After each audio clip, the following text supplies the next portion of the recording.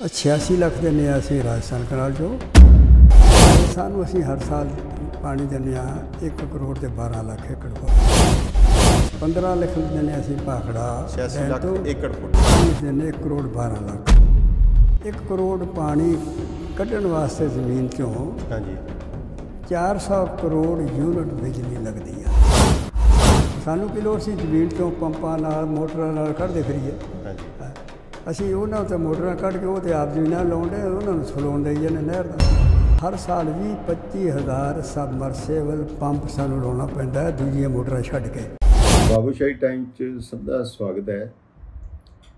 ਦੋਸਤੋ, ਅੱਜ 19 ਅਗਸਤ 2022 ਹੈ ਤੇ ਅੱਜ ਤੋਂ ਇੱਕ ਦਿਨ ਪਹਿਲਾਂ 18 ਅਗਸਤ 2022 ਨੂੰ ਇੱਕ ਸ਼ੋਕ ਸੁਨੇਹਾ ਸਾਨੂੰ ਮਿਲਿਆ। ਅਫਸੋਸ ਵਾਲਾ ਸੁਨੇਹਾ ਮਿਲਿਆ ਕਿ ਪ੍ਰੀਤਮ ਸਿੰਘ ਕੁਮੇਦਾਨ, ਜਿਹੜੇ ਕਿ ਬਹੁਤ ਹੀ ਪੰਜਾਬ ਦੇ ਹੱਕਾਂ ਦੇ ਪਹਿਰੇਦਾਰ ਮੈਂ ਕਹਿ ਸਕਦਾ, ਉਹ ਅਕਾਲ ਚਲਾਣਾ ਕਰ ਗਏ। 18 ਅਗਸਤ 2022 ਕੱਲ ਸ਼ਾਮ।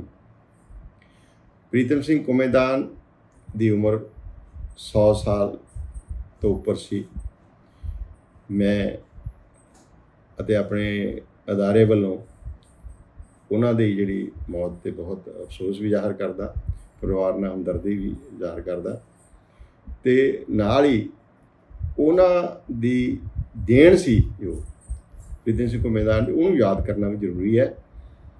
ਪ੍ਰੀਤਮ ਸਿੰਘ ਕੁਮੇਦਾਨ ਸਾਰੀ ਉਮਰ, ਹਾਲਾਂਕਿ ਉਹ ਸਾਬਕਾ ਪੀਸੀਐਸ ਅਫਸਰ ਸੀਗੇ, ਸਰਕਾਰੀ ਅਫਸਰ ਉਸ ਤੋਂ ਰਿਟਾਇਰ ਹੋਏ ਸੀ, ਪੰਜਾਬ ਸਿਵਲ ਸਰਵਿਸਿਜ਼ ਤੋਂ, ਪਰ ਉਹਨਾਂ ਨੇ ਆਪਣੀ ਸਾਰੀ ਉਮਰ ਪੰਜਾਬ ਦੇ ਪਾਣੀਆਂ, ਦਰਿਆਈ ਪਾਣੀਆਂ, ਪੰਜਾਬ ਦੇ ਇਲਾਕਿਆਂ ਤੇ ਇੰਟਰਸਟੇਟ ਝਗੜਿਆਂ ਦੇ ਵਿੱਚ ਪੰਜਾਬ ਦੇ ਹੱਕ ਦੀ ਲੜਾਈ ਵਿੱਚ ਬਹੁਤ ਅਹਿਮ ਤੇ ਮੋਹਰੀ ਜਿਹੜਾ ਰੋਲ ਪਲੇ ਕੀਤਾ ਉਹਨਾਂ ਨੇ।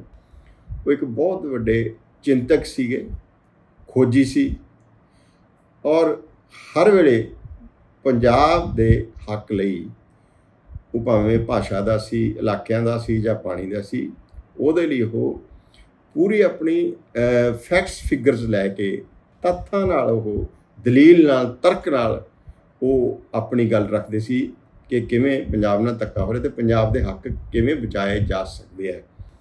ਪੰਜਾਬ ਦੀ ਵੰਡ ਤੋਂ ਲੈ ਕੇ ਤੇ ਆਖਰੀ ਦਮ ਤੱਕ ਉਹ ਇਸ ਆਪਣੇ ਸਟੈਂਡ ਤੇ ਕਾਇਮ ਰਹੇ ਤੇ ਉਹਨਾਂ ਦਾ ਇੱਕ ਬਹੁਤ ਜਿਹੜਾ ਮੁੱਦਾ ਚੁੱਕਿਆ ਸੀ ਉਹਨਾਂ ਨੇ ਕਿ ਪੰਜਾਬ ਦੇ ਪਾਣੀਆਂ ਦੀ ਜੋ ਕਾਣੀ ਵੰਡ ਹੋਈ ਹੈ, ਉਹ ਜੋ ਪੰਜਾਬ ਦਾ ਪਾਣੀ ਹੋਰਾਂ ਸਟੇਟਾਂ ਨੂੰ, ਖਾਸ ਕਰ ਰਾਜਸਥਾਨ ਨੂੰ ਦਿੱਤਾ ਗਿਆ ਹੈ, ਤੇ ਸਾਨੂੰ ਉਹਦੀ ਭਰਪਾਈ ਹੋਣੀ ਚਾਹੀਦੀ ਹੈ। ਸਾਨੂੰ ਘਾਟਾ ਪਿਆ ਲਾਸ ਹੋਇਆ ਰਿਪੇਰੀਅਨ ਸਟੇਟ ਕਰਕੇ। ਤੇ ਉਸ ਬਾਰੇ ਉਹਨਾਂ ਨੇ ਬਹੁਤ ਵਿਸਥਾਰ ਨਾਲ ਲੌਜੀਕ ਨਾਲ ਗੱਲ ਕੀਤੀ ਸੀ। ਤੇ ਉਹਨਾਂ ਨੂੰ ਸ਼ਰਧਾਂਜਲੀ ਵਜੋਂ ਅਸੀਂ ਇੱਕ ਝਲਕ ਉਹਨਾਂ ਦੀ ਕਿਸ ਤਰ੍ਹਾਂ ਦੀ ਪੰਜਾਬ ਨਾਲ ਕਮਿਟਮੈਂਟ ਸੀ ਉਹਦੀ ਇੱਕ ਝਲਕ ਤੁਹਾਨੂੰ ਦਿਖਾ ਰਹੇ ਹਾਂ। 2010 ਦੇ ਵਿੱਚ, ਜੂਨ ਜੂਨ 2010 ਦੇ ਵਿੱਚ ਮੈਂ ਪੀਟੀਸੀ ਦੇ ਵਿੱਚ, ਹੁਣ ਪੀਟੀਸੀ ਨਿਊਜ਼ ਦੇ ਵਿੱਚ ਉਹਨਾਂ ਦੀ ਇੱਕ ਇੰਟਰਵਿਊ ਕੀਤੀ ਸੀ ਪੰਜਾਬ ਦੇ ਪਾਣੀਆਂ ਬਾਰੇ। ਉਹ ਅਸੀਂ ਤੁਹਾਨੂੰ ਦਿਖਾ ਰਹੇ ਹਾਂ ਤਾਂ ਕਿ ਇਹ ਹਿਸਾਬ ਲੱਗੇ ਕਿ ਉਹ ਕਿਸ ਤਰ੍ਹਾਂ ਦੀ ਸ਼ਖਸੀਅਤ ਸੀ ਤੇ ਕਿਸ ਤਰ੍ਹਾਂ ਉਹ ਪੰਜਾਬ ਦੇ ਹੱਕਾਂ ਲਈ ਡਟ ਕੇ ਖੜਦੇ ਰਹੇ।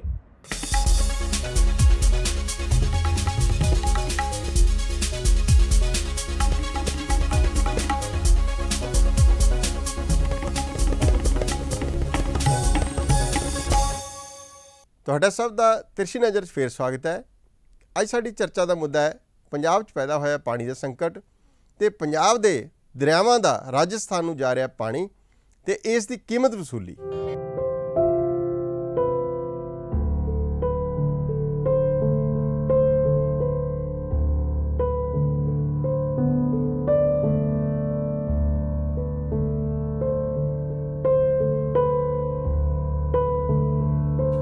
ਪੰਜ ਆ ਪੰਜ ਦਰਿਆਵਾਂ ਦੇ ਨਾਂ ਤੇ ਬਣੇ ਸੂਬੇ ਵਿੱਚ ਨਾ ਤਾਂ ਪੰਜੇ ਦਰਿਆ ਹੀ ਰਹੇ ਤੇ ਨਾ ਇਹਨਾਂ ਦਾ ਪੂਰਾ ਪਾਣੀ ਪੰਜਾਬ ਵਾਸੀਆਂ ਨੂੰ ਵਰਤਣਾ ਨਸੀਬ ਹੋਇਆ।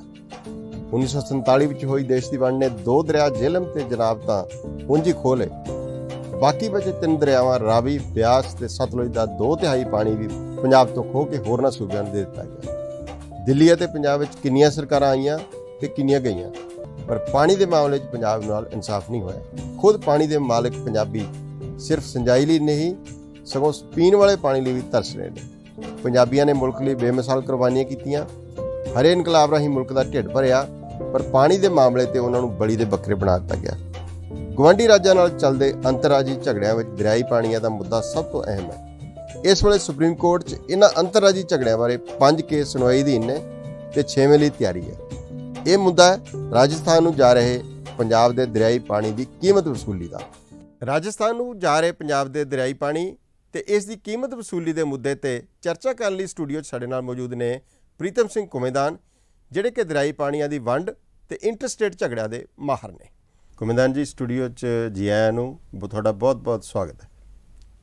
ਥੈਂਕ ਯੂ ਤੁਸੀਂ ਇੱਕ ਮੁੱਦਾ ਉਠਾਇਆ ਹੈ ਕੁਝ ਸਮਾਂ ਪਹਿਲਾਂ ਕਿ ਰਾਜਸਥਾਨ ਨੂੰ ਜਿਹੜਾ ਪੰਜਾਬ ਦੇ ਦਰਿਆਵਾਂ ਦਾ ਪਾਣੀ ਜਾ ਰਿਹਾ ਹੈ ਪੰਜਾਬ ਦਾ ਦਰਿਆਈ ਪਾਣੀ ਜਾ ਰਿਹਾ ਹੈ ਬੜੇ ਲੰਮੇ ਸਮੇਂ ਤੋਂ ਉਹ ਸਾਡਾ ਉਸ ਦਾ ਬਦਲੇ 'ਚ ਮੁਆਵਜ਼ਾ ਲਿਆ ਜਾਵੇ ਉਹਦੀ ਰਾਇਲਟੀ ਲਈ ਜਾਵੇ ਤੇ ਉਹਦੀ ਕੀਮਤ ਪਾਈ ਜਾਵੇ। ਇਹ ਤੁਸੀਂ ਕਾਫੀ ਦੇਰ ਤੋਂ ਉਠਾ ਰਹੇ ਹੋ ਮੁੱਦਾ। ਉਹ ਕਿੰਨੀ ਕੀਮਤ ਮੰਗ ਰਹੇ ਆ ਆਪਾਂ? 80000 ਕਰੋੜ ਅਸੀਂ ਮੰਗਦੇ ਹਾਂ ਸਿਰਫ ਬਿਜਲੀ ਬਿਜਲੀ ਦੀ। ਅੱਛਾ। ਜਿਹੜਾ ਪਾਣੀ ਦਾ ਮੁੱਲ ਆ ਉਹ ਤਾਂ ਬਹੁਤ ਜ਼ਿਆਦਾ। ਉਹ ਹੈ 5.5 ਲੱਖ ਕਰੋੜ ਰੁਪਏ। 80000 ਕਰੋੜ ਸਿਰਫ ਬਿਜਲੀ ਬਿਜਲੀ ਦਾ। ਸਿਰਫ 40 ਸਾਲ 'ਚ ਜਿਹੜੀ ਸਾਡੀ ਬਿਜਲੀ ਖਰਚ ਹੋਈ ਹੈ ਨਾ ਉਹ ਪਾਣੀ ਕੱਢ ਕੇ ਉਹਨਾਂ ਨੂੰ ਦੇਣ ਦੀ। ਉਹਦਾ ਸਿਰਫ 40 ਕਰੋੜ ਏਕੜ ਫੁੱਟ ਪਾਣੀ ਜਿਹੜਾ ਹੁਣ ਦਿੱਤਾ ਹੈ ਪਿਛਲੇ 40 ਸਾਲਾਂ 'ਚ। ਇਹ ਤੁਸੀਂ 80 ਕਰੋੜ ਕਿਵੇਂ ਕੈਲਕੂਲੇਟ ਕੀਤਾ? ਕਿਵੇਂ ਹਿਸਾਬ ਲਾਇਆ 80 ਕਰੋੜ ਦਾ? ਰਾਜਸਥਾਨ ਨੂੰ ਅਸੀਂ ਹਰ ਸਾਲ ਪਾਣੀ ਦਿੰਦੇ ਆ 1 ਕਰੋੜ ਤੇ 12 ਲੱਖ ਏਕੜ ਫੁੱਟ। ਹਾਂਜੀ। 86 ਲੱਖ ਦਿੰਦੇ ਆ ਅਸੀਂ ਰਾਜਸਥਾਨ ਕਨਾਲ ਚੋਂ। ਅੱਛਾ। 15 ਲੱਖ ਦਿੰਦੇ ਅਸੀਂ ਭਾਖੜਾ 86 ਡੈਮ ਲੱਖ ਏਕੜ ਫੁੱਟ। ਏਕੜ ਫੁੱਟ। ਹਾਂਜੀ। ਤੇ 11 ਲੱਖ ਦਿੰਦੇ ਅਸੀਂ ਬੀਕਾਨੇਰ ਕਨਾਲ ਤੋਂ। ਅੱਛਾ। ਟੋਟਲ ਪਾਣੀ ਅਸੀਂ ਦਿੰਦੇ 1 ਕਰੋੜ 12 ਲੱਖ। ਰਾਜਸਥਾਨ ਨੂੰ ਜਿਹੜਾ ਪੰਜਾਬ ਚੋਂ ਜਾ ਰਿਹਾ। ਹੈ ਹੁਣ ਉਹ ਪਿਛਲੇ 40 ਕੁ ਸਾਲ ਚ। ਹੈ ਤੇ ਜ਼ਿਆਦਾ ਪਰ ਅੰਦਾਜ਼ਾ ਲਾਇਆ ਵੀ 40 ਕਰੋੜ ਏਕੜ ਫੁੱਟ ਪਾਣੀ ਗਿਆ। ਕੁੱਲ ਜਿਹੜਾ? ਕੁੱਲ ਜਿਹੜਾ। ਇਹ ਜਿਹੜੀਆਂ ਨਹਿਰਾਂ ਜਿਹੜੀਆਂ ਹੈਗੀਆਂ ਨੇ। ਰਾਜਸਥਾਨ ਨੂੰ ਜਾਂਦੀਆਂ। ਹਾਂ। ਹੂੰ। ਤੇ ਹਰ ਸਾਲ 1 ਕਰੋੜ ਏਕੜ ਫੁੱਟ ਸਮਝੋ ਪਾਣੀ ਜਾਂਦਾ ਹੈ। 1 ਕਰੋੜ ਪਾਣੀ ਕੱਢਣ ਵਾਸਤੇ ਜ਼ਮੀਨ ਚੋਂ ਹਾਂਜੀ। 400 ਕਰੋੜ ਯੂਨਿਟ ਬਿਜਲੀ ਲੱਗਦੀ ਆ। ਹਰ ਸਾਲ। ਹਰ ਸਾਲ। ਜਿਹੜਾ ਪੰਜਾਬ ਚੋਂ ਆਪਾਂ ਟਿਊਬਵੈਲਾਂ ਚੋਂ ਟਿਊਬਵੈਲਾਂ ਚੋਂ। ਟਿਊਬਵੈਲਾਂ 'ਚ ਪਾਣੀ ਟਿਊਬਵੈਲਾਂ ਚੋਂ। ਉਹ ਅਸੀਂ ਟਿਊਬਵੈਲਾਂ ਤੋਂ ਬਿਜਲੀ ਨਾਲ ਡੀਜ਼ਲ ਨਾਲ ਕਿਸੇ ਤਰੀਕੇ ਨਾਲ ਕੱਢਦੇ ਆ ਠੀਕ ਹੈ। ਉਹਦਾ 5 ਰੁਪਏ ਯੂਨਿਟ ਵੈਸੇ ਤੇ ਲੈਂਦੇ 7 ਰੁਪਏ 8 ਰੁਪਏ 9 ਰੁਪਏ ਯੂਨਿਟ ਲੈਂਦੇ ਆ ਹਾਂਜੀ। ਉਹ ਮੈਂ ਲਾਇਆ ਹੈ ਵੀ 5 ਰੁਪਏ ਯੂਨਿਟ ਅਸੀਂ ਲਾਈਏ ਜੇ। ਹਾਂਜੀ। ਤੇ ਔਸਤਨ 2000 ਔਸਤਨ 5 ਰੁਪਏ ਯੂਨਿਟ 2000 ਕਰੋੜ ਰੁਪਈਆ ਸਾਲ ਦਾ ਹੋ ਜਾਂਦਾ। 2000 ਇੱਕ- ਕਰੋੜ ਉਹਦੀ ਕੀਮਤ ਹੋ ਜਾਂਦੀ ਜਿਹੜੀ ਬਿਜਲੀ ਆਪਾਂ ਖਰਚਦੇ ਆ। 1 ਕਰੋੜ ਦੀ। 1 ਕਰੋੜ ਏਕੜ ਫੁੱਟ ਕੱਢਣ ਵਾਸਤੇ ਹਾਂਜੀ। 2000 ਕਰੋੜ ਰੁਪਏ ਦੀ ਬਿਜਲੀ ਖਰਚ ਹੋ ਜਾਂਦੀ ਹੈ ਹਰ ਸਾਲ ਪੰਜਾਬ ਚ। ਸਾਲ।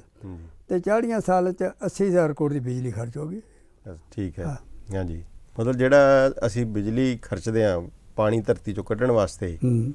ਉਹਦਾ 80000 ਕਰੋੜ ਬਣਦਾ ਉਹਦਾ ਅਸੀਂ ਤੇ ਸਿਰਫ। ਜੇ ਉਹ ਪਾਣੀ ਮਤਲਬ ਰਾਜਸਥਾਨ ਨੂੰ ਨਾ ਦਿੱਤਾ ਜਾਂਦਾ ਤੇ ਸਾਡੇ ਕੋਲ ਰਹਿੰਦਾ। ਜੇ ਸਾਡੇ ਕੋਲ ਅਸੀਂ ਗਲਫਲੋ ਨਾਲ ਪਾਣੀ ਨਹਿਰਾਂ ਲਾਉਂਦੇ ਸਾਨੂੰ ਕੀ ਲੋੜ ਸੀ ਜ਼ਮੀਨ ਚੋਂ ਪੰਪਾਂ ਨਾਲ ਮੋਟਰਾਂ ਨਾਲ ਕੱਢਦੇ ਫਿਰੀਏ? ਹਾਂਜੀ।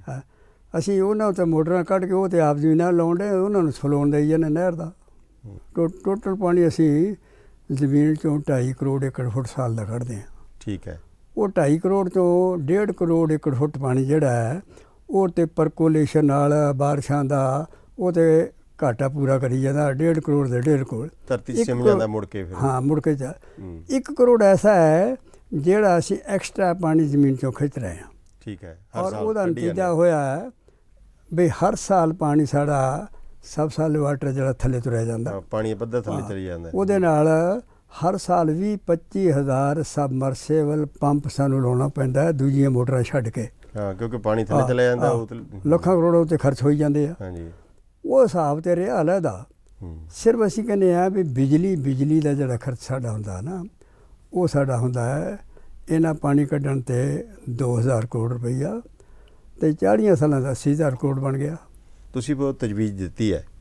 ਉਹ ਤਜਵੀਜ਼ ਦਾ ਪੰਜਾਬ ਸਰਕਾਰ ਕੁਝ ਕਰ ਰਹੀ ਹੈ? ਪੰਜਾਬ ਸਰਕਾਰ ਨੇ ਇਹ ਮੈਂ ਜੋ ਨੋਟ ਭੇਜਿਆ ਹਾਂਜੀ। ਚੀਫ ਮਿਨਿਸਟਰ ਸਾਹਿਬ ਨੇ ਐਡਵੋਕੇਟ ਜਨਰਲ ਨੂੰ ਭੇਜਤਾ।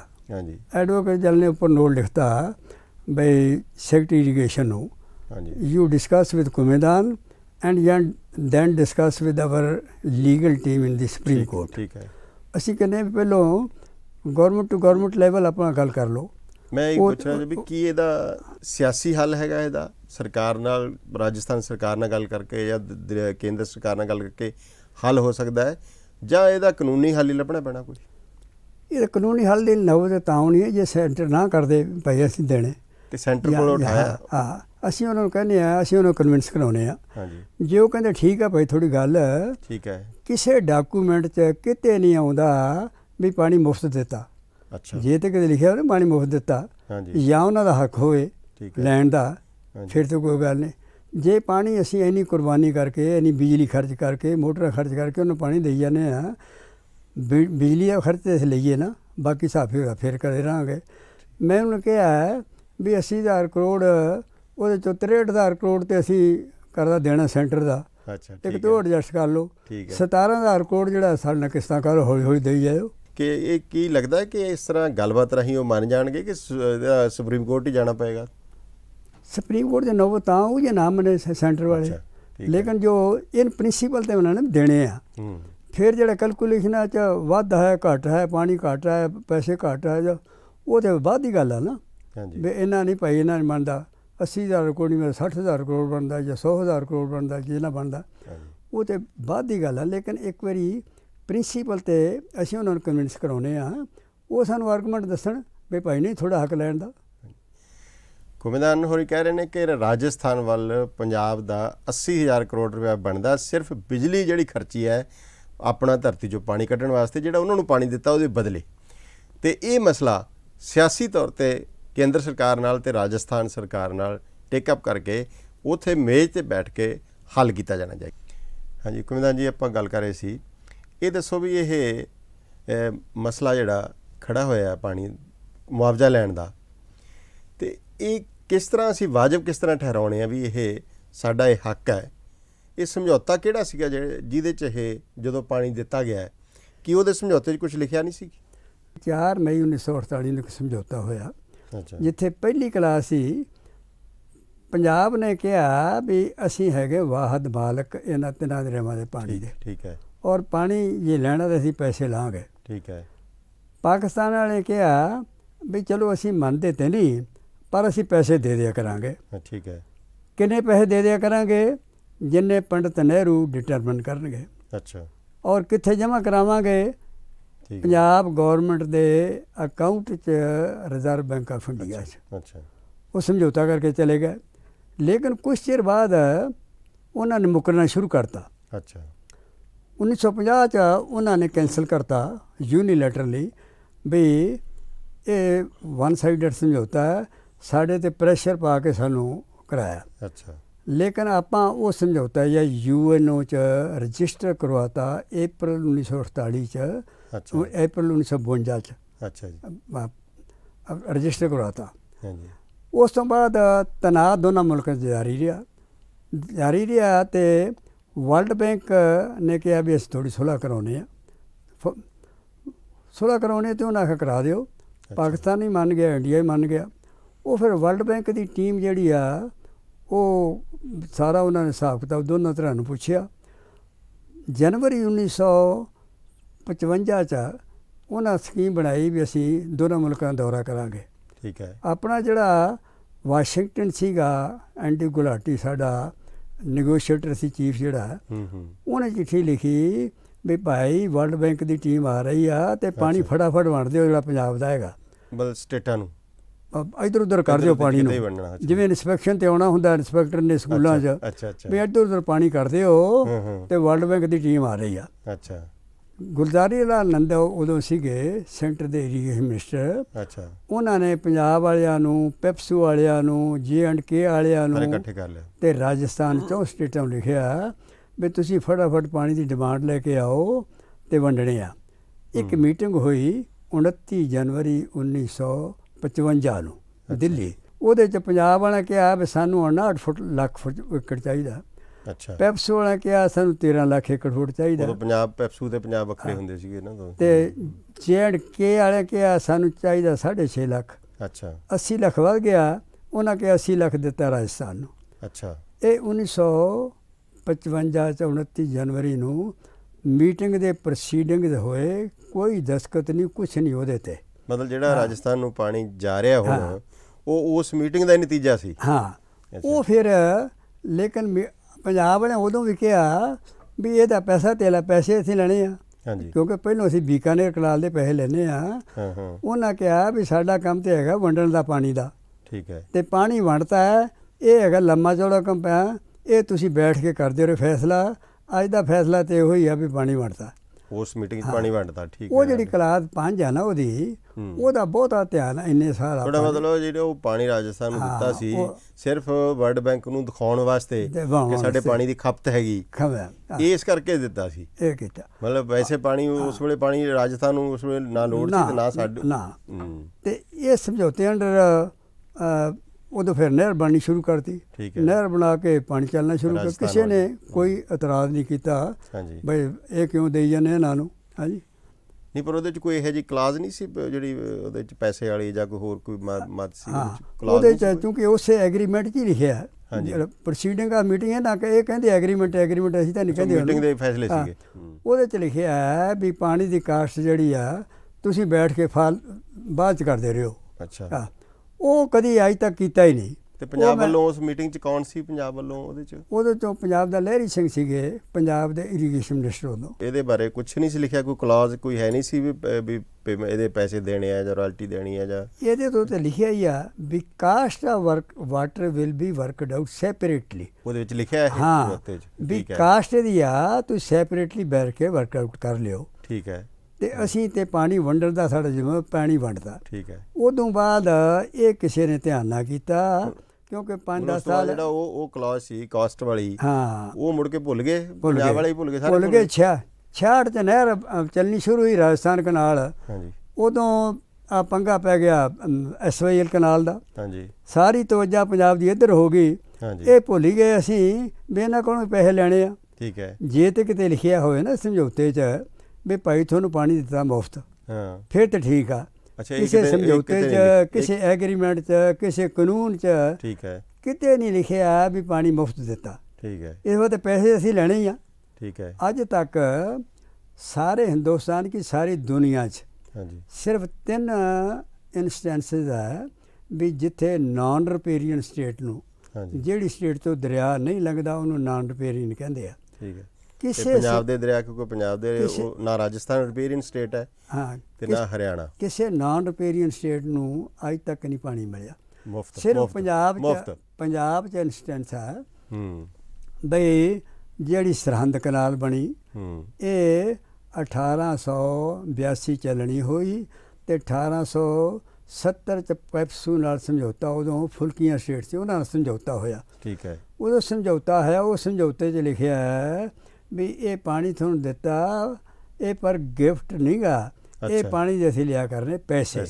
ਔਰ ਪੈਸੇ ਆਪਾਂ 1946 47 ਤੱਕ ਫੁਲਕੀਆਂ ਸਟੇਟ ਪਟਿਆਲਾ ਨਾਭਾ ਜੀਨ ਤੋਂ ਲੈਂਦੇ ਰਹੇ ਪਾਣੀ ਬਦਲੇ। 1920 ਚ ਸਮਝੌਤਾ ਹੋਇਆ ਬੀਕਾਨੇਰ ਸਟੇਟ ਨਾਲ। ਠੀਕ ਹੈ। ਉਹਦੇ ਚ ਵੀ ਲਿਖਿਆ ਵੀ ਇਹ ਪਾਣੀ ਜਿਹੜਾ ਦਿੱਤਾ ਹੈ ਇਹਦੇ ਪੈਸੇ ਲਿਆ ਕਰਾਂਗੇ ਪੈਸੇ ਲੈਂਦੇ ਰਹੇ ਆ। ਠੀਕ ਹੈ। ਤੀਜਾ ਸਮਝੌਤਾ ਇੱਕ ਹੋਇਆ ਹੈ ਪੈਰੀਆਰ ਰਿਵਰ ਹੈਗਾ ਕੇਰਲਾ ਜਿੱਥੇ। ਰੌਲਾ ਪੈਂਦਾ। ਦੱਖਣੀ ਭਾਰਤ ਦਾ। ਉੱਥੇ ਹੋਇਆ 999 ਸਾਲ ਦਾ ਐਗਰੀਮੈਂਟ। ਠੀਕ ਹੈ। ਉੱਥੇ ਹੋਇਆ ਮਦਰਾਸ ਸਟੇਟ ਨੂੰ ਪਾਣੀ ਜਾਣਾ ਟਰਾਵਨਕੋਰ ਚੀਨ ਸਟੇਟ ਤੋਂ। ਠੀਕ ਹੈ। ਉੱਥੇ ਸਮਝੌਤਾ ਹੋਇਆ। ਠੀਕ ਹੈ। ਸਿਰਫ ਦੁਨੀਆ 'ਚ ਸਾਰੀ ਜਿੱਤਨ ਸਮਝੌਤੇ ਆ। ਦੋ ਸਾਡੇ ਹੀ ਲੇਕਿਨ ਉਹਨਾਂ ਦੋਨਾਂ 'ਚ ਅਸੀਂ ਪੈਸੇ ਲਏ ਆ। ਠੀਕ ਹੈ। ਇਹ ਜਿਹੜਾ ਹੈ ਔਰ ਬਹੁਤਾ ਪਾਣੀ ਨਹੀਂ ਸੀ ਸਿਰਫ 11 ਲੱਖ ਪਾਣੀ ਸੀਗਾ। ਹਾਂਜੀ। ਹੁਣ ਕਰੋੜਾਂ ਏਕੜ ਫੁੱਟ ਦੇਈ ਫੁੱਟਦੇ ਆ ਅਸੀਂ, ਔਰ ਉਹਦਾ ਪੈਸੇ ਤੇ ਵਾਲੀ ਗੱਲ ਕੋਈ ਨਹੀਂ ਕਰਦਾ। ਕੁਮੇਦਾਨ ਹੋਰੀ ਕਹਿ ਰਹੇ ਨੇ ਕਿ ਦੁਨੀਆ 'ਚ ਕਿਤੇ ਵੀ ਇਹ ਨਹੀਂ ਹੋਇਆ ਕਿ ਜੇ ਰਿਪੇਰੀਅਨ, ਜਿਹੜੀ ਨਾਨ ਰਿਪੇਰੀਅਨ ਸਟੇਟ ਹੈ ਭਾਵ ਜਿਹੜੀ ਸਟੇਟ ਦੇ ਵਿੱਚ ਦਰਿਆ ਨਾ ਲੰਘਦੇ ਹੋਣ ਤੇ ਜਿਹੜੀ ਦਰਿਆਵਾਂ ਦੀ ਮਾਲਕ ਹੋਵੇ ਸਟੇਟ, ਉਹ ਕਦੇ ਕਿਸੇ ਨੂੰ ਮੁਫਤ ਜਿਹੜਾ ਪਾਣੀ ਨਹੀਂ ਦਿੰਦੀ ਤੇ ਤਿੰਨ ਸਮਝੌਤਿਆਂ ਦਾ ਉਹਨਾਂ ਨੇ ਜ਼ਿਕਰ ਕੀਤਾ, ਜਿਨ੍ਹਾਂ 'ਚ ਬਕਾਇਦਾ ਜਿਹੜੀ ਉਹ ਕੀਮਤ ਪਾਈ ਗਈ ਪਾਣੀ ਦੀ ਕਿ ਕਿੰਨਾ ਪਾਣੀ ਰਿਪੇਰੀਅਨ ਸਟੇਟ ਨੇ ਨਾਨ ਰਿਪੇਰੀਅਨ ਸਟੇਟ ਨੂੰ ਦੇਣਾ ਹੈ। ਤੇ ਇਸ ਤਰ੍ਹਾਂ ਵੀ ਇਹ ਜਿਹੜਾ ਜਿਹੜਾ ਰਾਜਸਥਾਨ ਨਾਲ ਸਾਡਾ ਹੋਇਆ ਸਮਝੌਤਾ ਉਹਦੇ ਵਿੱਚ ਕੋਈ ਕਿਤੇ ਨਹੀਂ ਲਿਖਿਆ ਕਿ ਪਾਣੀ ਮੁਫਤ ਜਾਏਗਾ। ਸਗੋਂ ਇਹ ਲਿਖਿਆ ਗਿਆ ਸੀ ਕਿ ਇਹ ਦੀ ਜਿਹੜੀ ਕੀਮਤ ਹੈ ਉਹ ਬਾਅਦ ਚ ਪਾਈ ਜਾਏਗੀ ਪਰ ਉਸ ਤੋਂ ਬਾਅਦ ਇਹ ਇਸ ਨੂੰ ਨਹੀਂ ਛੇੜਿਆ ਗਿਆ ਨਹੀਂ ਪਾਈ ਗਈ। ਹਕੂਮਤਾਨ ਜੀ ਆਪਾਂ ਉਹ ਗੱਲ ਕਰੀ ਸੀ ਕਿ ਕੋਈ ਜਿਹੜਾ ਸਮਝੌਤਾ ਜਿੱਥੇ ਵੀ ਨਾਨ ਰਿਪੇਰੀਅਨ ਸਟੇਟ ਨੂੰ ਪਾਣੀ ਗਿਆ ਤਾਂ ਮੁਫਤ ਨਹੀਂ ਜਾਂਦਾ। ਇਹ ਤਾਂ ਮਤਲਬ ਤੁਸੀਂ ਉਦਾਹਰਨਾਂ ਵੀ ਦਿੱਤੀਆਂ ਉਹਦੀਆਂ ਤਿੰਨ ਤਿੰਨ। ਤੇ ਇੱਕ ਦਲੀਲ ਜੇ ਉਹ ਇਹ ਦੇਣ ਕਿ ਇਹ ਤਾਂ ਜੀ ਹਿੰਦੁਸਤਾਨ ਇੱਕ ਮੁਲਕ ਹੈ ਤੇ ਉਹ ਵੀ ਸਾਡੀ, ਸਾਡੇ ਹੀ ਭਰਾ ਹੈਗੇ ਨੇ ਜਾਂ ਸਾਡੇ ਸਟੇਟ ਹੈ ਮੁਲਕ ਦੀ, ਤੇ ਉੱਥੇ ਹੀ, ਉੱਥੇ ਇੱਥੇ ਤੱਕ ਕਿ ਉੱਥੇ ਪੰਜਾਬੀ ਵੀ ਬਹੁਤ ਵਸੇ ਹੋਏ ਨੇ। ਤੇ ਇਹ ਦਲੀਲ ਜੇ ਦੇਣ ਤਾਂ ਇਹਦਾ ਕੀ ਕਾਟ ਹੈਗੀ? ਇਹਦਾ ਮੋੜ ਕੀ ਹੈ? ਦੁਨੀਆ ਦੇ ਤਖਤੇ ਤੱਕ ਅਜ ਤੱਕ ਨਹੀਂ ਹੋਇਆ। ਵੀ ਕੋਈ ਨਾਨ ਰਿਪੇਰੀਅਨ ਸਟੇਟ ਕਵੇ ਵੀ ਸਾਡਾ ਹੱਕ ਆ ਪਾਣੀ ਤੇ ਹੈਂ? ਠੀਕ ਹੈ। ਸਿਰਫ ਇਹ ਪੰਜਾਬ 'ਚ ਹੀ ਹੈਗਾ ਔਰ ਇਹ ਨਹੀਂ ਥੋੜਾ ਬਹੁਤ ਪਾਣੀ ਆ। ਪਾਣੀ ਰਾਜਸਥਾਨ ਨੂੰ ਔਰ ਹਰਿਆਣੇ ਨੂੰ ਔਰ ਦਿੱਲੀ ਨੂੰ ਹਾਂਜੀ। 2 ਕਰੋੜ ਏਕੜ ਫੁੱਟ ਪਾਣੀ ਅਸੀਂ ਦਿੰਨੇ ਆ ਸਵਾ ਤਿੰਨ ਕਰੋੜ ਏਕੜ ਸਾਡਾ ਪਾਣੀ ਆ ਕੁੱਲ ਕੁੱਲ 2 ਕਰੋੜ ਏਕੜ ਫੁੱਟ ਪਾਣੀ ਇਹਨਾਂ ਨੂੰ ਦੇ ਰਹੇ। ਮਤਲਬ ਅਸੀਂ ਜਿਹੜਾ ਆਪਣੇ ਕੋਲ ਤੀਜਾ ਹਿੱਸਾ ਹੀ ਰੱਖਿਆ ਸਿਰਫ। ਹਾਂ। ਔਰ ਟੋਟਲ ਪਾਣੀ ਜਦੋਂ ਪਾਰਟੀਸ਼ਨ ਹੋਈ ਆ ਕੰਟਰੀ ਦੀ ਹਾਂਜੀ। ਉਦੋਂ ਪਾਕਿਸਤਾਨ ਨੂੰ ਚਲਾ ਗਿਆ 14 ਕਰੋੜ ਏਕੜ ਫੁੱਟ ਪਾਣੀ। ਹਾਂਜੀ। ਤਿੰਨਾਂ ਦਰਿਆਵਾਂ ਦਾ ਜੀ। ਸਿੰਧ ਦਾ ਜੇਹਲਮ ਦਾ ਚਨਾਬ ਦਾ ਤੇ ਸਾਡੇ ਹਿੱਸੇ ਪੰਜਾਬ ਦੇ ਹਿੱਸੇ ਚ ਆਇਆ ਸਵਾ ਤਿੰਨ ਕਰੋੜ। ਇਹਦਾ ਦਰਿਆਵਾਂ ਦਾ ਪਾਣੀ ਘਟਦਾ ਵੱਧਦਾ ਰਹਿੰਦਾ। ਲੇਕਿਨ ਔਸਤਨ ਜਿਹੜਾ ਪਾਣੀ ਆ ਉਹ ਤਿੰਨਾਂ ਦਰਿਆਵਾਂ ਦਾ 1 ਕਰੋੜ 30 ਕੁ ਲੱਖ ਪਾਣੀ ਏਕੜ ਫੁੱਟ ਪਾਣੀ ਹੈਗਾ ਸਤਲੁਜ ਦਾ। 1 ਠੀਕ ਹੈ। ਕਰੋੜ 30 ਕੁ ਲੱਖ ਹੈਗਾ ਬਿਆਸ ਦਾ ਠੀਕ ਹੈ। ਤੇ 70 ਕੁ ਲੱਖ ਏਕੜ ਫੁੱਟ ਹੈਗਾ ਰਾਵੀ ਦਾ। ਠੀਕ ਹੈ ਇਹਦੇ। ਮੁਕਾਬਲੇ ਜਿਹੜੇ ਹੁਣ ਪਾਕਿਸਤਾਨ ਨੂੰ ਦਿੱਤੇ ਆ ਹਾਂਜੀ। 2 ਕਰੋੜ 30 ਲੱਖ ਚਨਾਬ ਦਾ 2 ਕਰੋੜ 30 ਲੱਖ ਜੇਲਮ ਦਾ ਤੇ 9 ਕਰੋੜ ਏਕੜ ਫੁੱਟ ਪਾਣੀ ਹੈਗਾ ਕੱਲੇ ਸਿੰਧ ਦਾ। ਪਾਣੀ ਦੀ ਕਿੰਨੀ ਜਿਹੜੀ ਕੀਮਤ ਹੈ ਉਹ ਉਹਦੀ ਕੀਮਤ ਨਹੀਂ ਕਿੰਨੀ? ਪਾਣੀ ਮੈਂ ਕੈਲਕੂਲੇਟ ਕੀਤੀ ਆ 5.5 ਲੱਖ ਕਰੋੜ ਰੁਪਈਆ। ਹਾਂਜੀ। ਉਹ ਕੈਲਕੂਲੇਟਿੰਗ ਕੀਤੀ ਆ ਵੀ ਇੱਕ ਜਿਹੜਾ ਕਿਊਸਕ ਪਾਣੀ ਆ ਨਾ ਉਹ 24 ਘੰਟੇ ਚੱਲਦਾ ਰਹੇ ਤੇ ਉਹਦਾ 2 ਏਕੜ ਫੁੱਟ ਪਾਣੀ ਜ਼ਮੀਨ ਚੋਂ ਕੱਢ ਲੈਣਾ ਠੀਕ ਹੈ। ਜਿਹੜਾ ਮਾਧੋਪੁਰ ਹੈਡਵਰਕਸ ਆ ਹਾਂਜੀ। ਇੱਕ ਸੈਂਟਰਲ ਵਾਟਰ ਪਰ ਕਮਿਸ਼ਨ ਆ ਉਹਨਾਂ ਦੀ ਰਿਪੋਰਟ ਆਈ ਸੀ ਵੀ ਮਾਧੋਪੁਰ ਹੈਡਵਰਕਸ ਦੇ ਜਿਹੜੇ ਗੇਟ ਆ ਨਾ ਉਥੋਂ ਪਾਣੀ ਲੀਕ ਹੁੰਦਾ 100 ਕਿਊਸਕ ਰੋਜ਼ ਦਾ। ਹਾਂਜੀ। ਉਹ 100 ਕਿਊਸਕ ਪਾਣੀ ਜਿਹੜਾ ਰੋਜ਼ ਦਾ ਦੈਟ ਗੋਜ਼ ਵੇਸਟ ਪਾਕਿਸਤਾਨ ਨੂੰ ਚਲਾ ਜਾਂਦਾ। ਹਾਂਜੀ। ਔਰ ਉਸ 100 ਕਿਊਸਕ ਪਾਣੀ ਦੀ ਕੀਮਤ ਹੈਗੀ ਆ ਸਾਲ ਦੀ 100 ਕਰੋੜ ਰੁਪਈਆ। ਅੱਛਾ। ਉਸ ਬੇਸਿਸ ਤੇ ਮੈਂ ਗਿਣਿਆ ਹੈ। ਵੀ ਉਹਦੀ ਜੇ 100 ਕਿਊਸਕ ਦੀ ਪਾਣੀ ਦੀ ਕੀਮਤ ਹੈ 100 ਕਰੋੜ ਰੁਪਈਆ ਤੇ ਅਸੀਂ ਜਿਹੜਾ ਪਾਣੀ ਹੁਣ ਤੱਕ ਦਿੱਤਾ ਹੈ, ਉਹ ਉਹਦੀ ਕੀਮਤ 5.5 ਲੱਖ ਕਰੋੜ ਰੁਪਈਆ ਬਣਦੀ ਹੈ। ਲੇਕਿਨ ਉਹ ਅਜੇ ਫਿਲਹਾਲ ਨਹੀਂ ਮੰਗਿਆ। ਫਿਲਹਾਲ ਅਸੀਂ ਕਿਹਾ ਵੀ। ਬਿਜਲੀ ਵਾਲਾ ਦਿਓ ਹਾਂ। ਠੀਕ ਹੈ। ਹਾਂ। ਹੁਣ ਜਿਹੜਾ ਜਾਂਦੇ ਜਾਂਦੇ ਇਹ ਦੱਸੋ ਕਿ ਜਿਹੜਾ ਐਮ ਮਨੋਹਰ ਸਿੰਘ ਗਿੱਲ ਨੇ ਇੱਕ ਫੈਸਲਾ ਕੀਤਾ ਹੈ ਕਿ 8 ਸਾਲ ਤੋਂ ਬਾਅਦ ਜਿਹੜਾ ਉਹ ਕੋਈ ਵੀ ਜਿਹੜੇ ਫੈਡਰੇਸ਼ਨ ਦਾ ਜਿਹੜੇ ਅਹੁਦੇਦਾਰ ਪ੍ਰਧਾਨ ਵਗੈਰਾ ਉਹ ਨਹੀਂ ਕੰਟੀਨਿਊ ਕਰ ਸਕਣਗੇ।